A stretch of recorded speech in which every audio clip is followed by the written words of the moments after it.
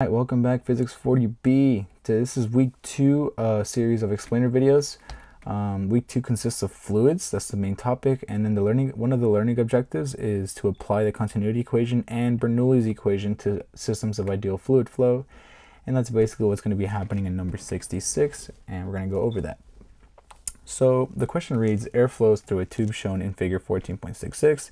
Here's the figure, and at a rate of uh, 1200 centimeters cubed per second. Assume that air is an ideal fluid, and it's asking what is the height of mercury in the right side of the U-tube. So when we look at the figure, it gives us the, the information that we need to solve the problem. It gives us the diameter of the big pipe, the diameter of the small pipe, it gives us the flow rate, and it gives us the element, which is mercury. Um, and then here's a list of the information that we know. So we know the density of mercury is 13,600 kilograms per meter cubed. We know the density of air is 1.2 kilograms per meter cubed and then we know that the area of a tube can be found with the equation pi times the radius squared. And then also it gives us the flow rate, which is uh, 1200 centimeters cubed per second. Nice. So for the approach, basically the first step is to find the speed.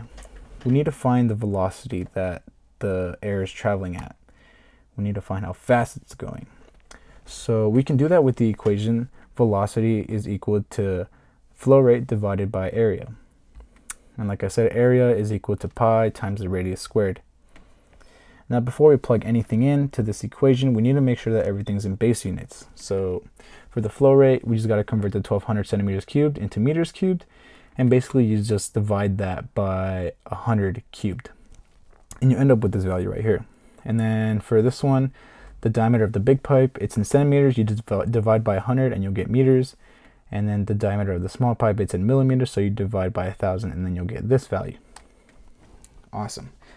So with these calculations all you have to do is plug it into the equation. So this is our flow rate which is the which we found right here and then it's being divided by pi times the radius. So we're going to divide these values by 2 which is why this is 0.1 and this is 0.002 and then we're going to get these values. We're going to get 3.8 meters per second and 95.5 meters per second. We're almost done. So for the next step, uh, we already calculated velocity, so now we can start to apply Bernoulli's equation, which looks something like this. For the sake of time, I'm not going to show you how to isolate the variables or the steps involved, but basically what you have to do is get this P1 and this P2 on one side of the parenthesis and everything else on the other side. And then just eliminate this PGH and the PGH on this side. Just don't even use them. So just use just use P2 plus 1 half uh, rho V squared. And then this one. Don't use the PGH. Not yet. Not yet. So after you've done that, your equation is going to look like this. So this is what I just showed you, but it just looks a little messy and this is uh, delta p is basically p2 minus p1 that's why i said to get them on one side because when you have them on this side you can just label it as a change in p which is pressure. And if you plug this straight into a calculator you're going to end up with this number. And it should be negative because when fluids increase in velocity pressure drops. So that makes sense. So the final step with this new number that you got it five uh, 5,463.4 pascals. That's the pressure value.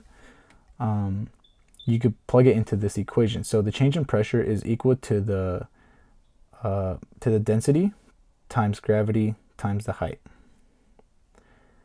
Uh, and this density applies to the density of the fluid. In this case, it's mercury. So we have density of mercury, we have gravity, and we have the change in pressure. So we only need H. So we just isolate H, and the equation ends up looking like this. You plug in your values and then you'll get 0.041 meters and then you can leave it at that or you can convert it to centimeters. It doesn't matter, but it's about 4.1 centimeters. And then that's it.